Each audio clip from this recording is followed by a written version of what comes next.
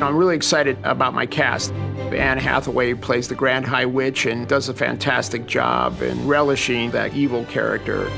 Anne Hathaway, she gives so much of herself in her performances. She's mesmerizing as the Grand High Witch. Octavia Spencer plays our hero's grandmother. She's such an amazing dramatic actress. but She's got great comedy sensibilities. Witches ain't nothing to joke about. They would yell action, and she would just flood her character with so much emotion and so much love. And you just never want to stop watching her. Stanley Tucci, he can do anything.